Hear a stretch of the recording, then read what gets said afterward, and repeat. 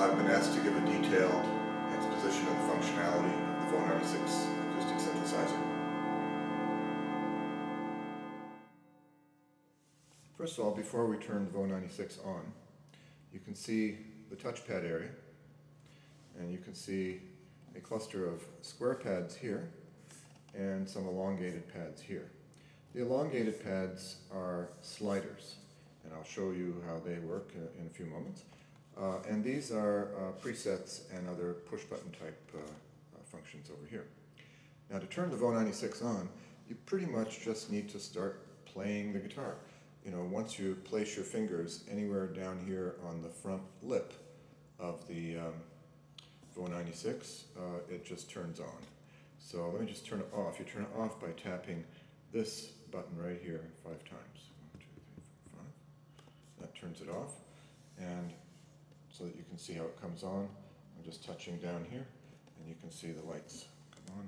That's how that works. Um, now, I've got it set here to probably the most basic kind of setting that we can use. Um, along here, these three buttons here, are three sets of two presets. The first set of two presets here is uh, made up of all of the harmonics. The second set of two presets here is made up of all the even harmonics and deliberately excluding the odd harmonics from the timbre of the string. And the third set is made up of all the odd harmonics, deliberately excluding the even harmonics from the string. So let's start out with uh, all harmonics. And as I say, each touchpad actually has two presets. The first preset is when the preset uh, LED is glowing steadily. If you touch it one more time, now the preset LED is uh, undulating and that means you're in the second preset. So you can toggle back and forth between those two presets. So you have two presets for each of those harmonic uh, groupings, very basic grouping, all harmonics, only even harmonics, and only odd harmonics, very basic categories of, uh, of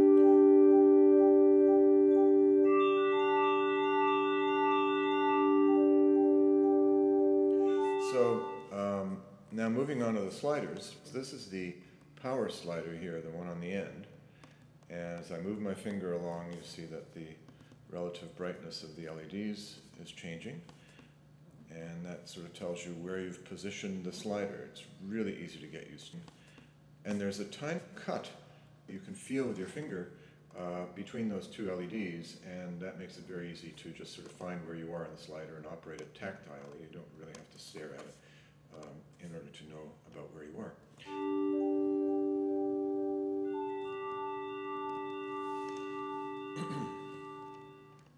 now one thing about what happens when you turn on the VO96, all of the uh, adjustments are going to be exactly where you last left them where I've left it in this mode here is that everything is uh, turned down.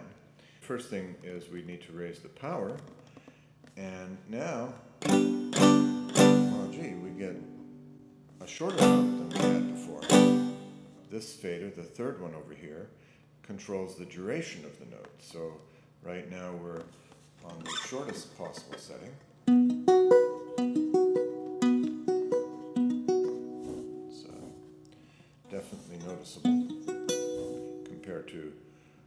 No power at all, which sounds like.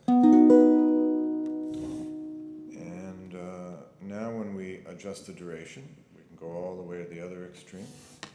And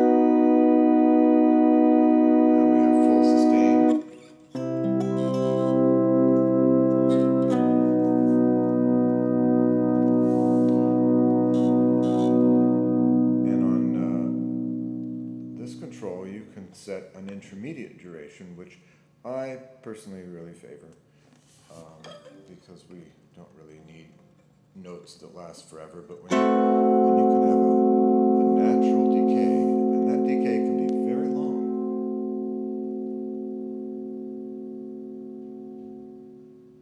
but it's still a very nice natural decay.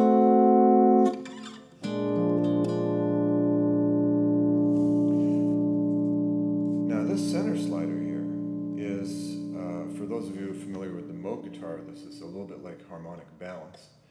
Um, what this is doing is it's changing the group of harmonics that we're controlling. So right now I have it set to the minimum position, which means the darkest group of harmonics. So things almost sound like pure,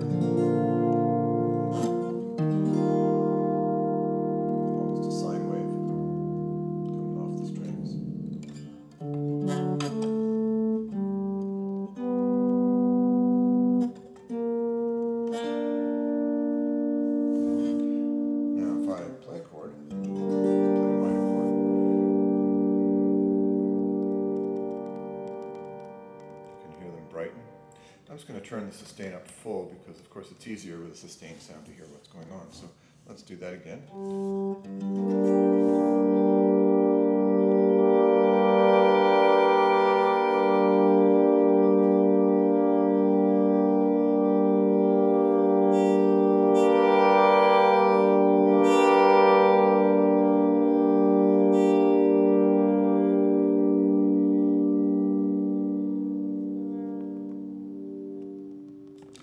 Full power, there's enough power to buzz the strings if you're not uh, uh, careful. So often I just take it a little bit down off of full power. There is a little bit more power headroom than you'd really need.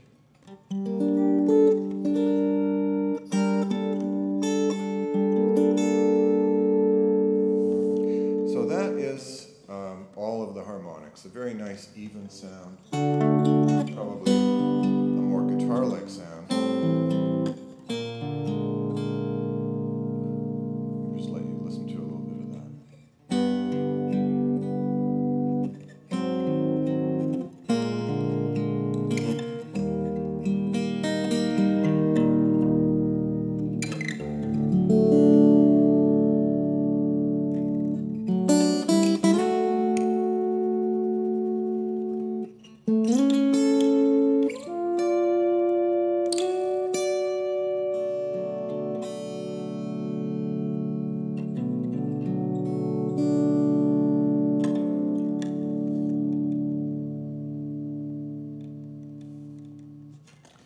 nice. Um, if you set the harmonics a little bit higher.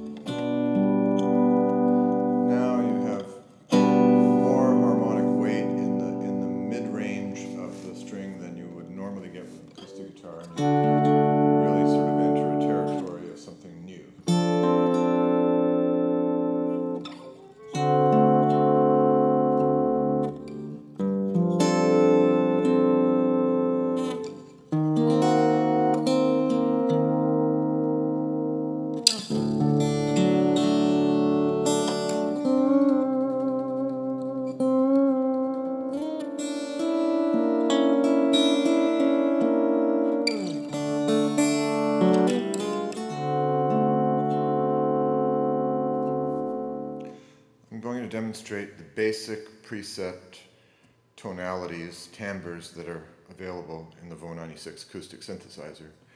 Uh, and I just want to demonstrate the difference between the three of them. So I'm going to begin that by just playing one note, just some note.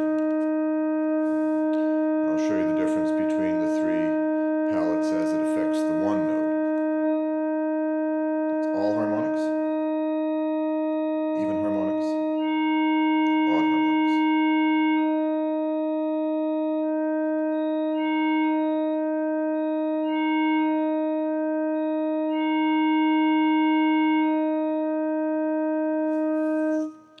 that's not signal processing, that is actually changing the way that the string vibrates. I've put on a uh, chord capo here so that I can play a chord without having to have my left hand go completely to sleep. Here's a chord.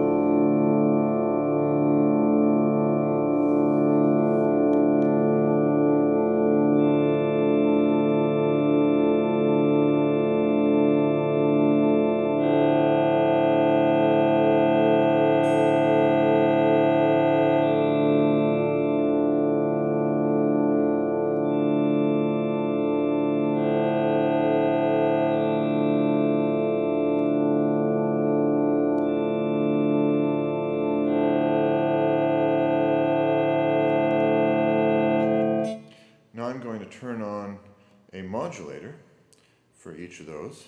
This is the arpeggio modulator, and I'm going to turn it off and on.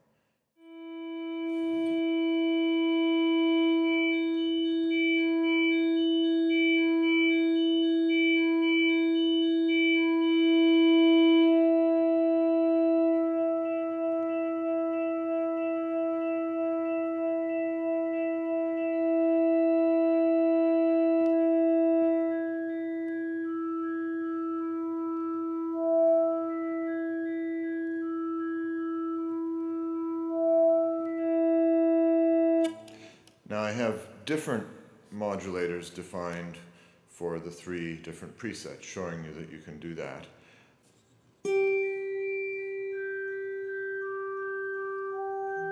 Sort of a little melody. Um, we can change that, but I'll get to that later. If I move the note,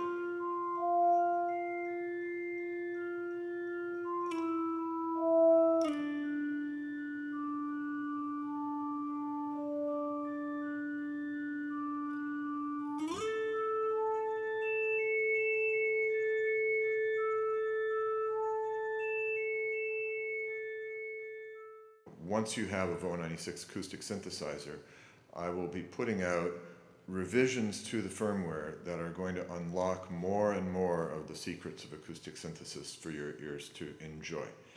Here I'm going to play a chord. Now the same arpeggio we just heard is now running on all the strings. But because I stroke the strings slowly, let me do that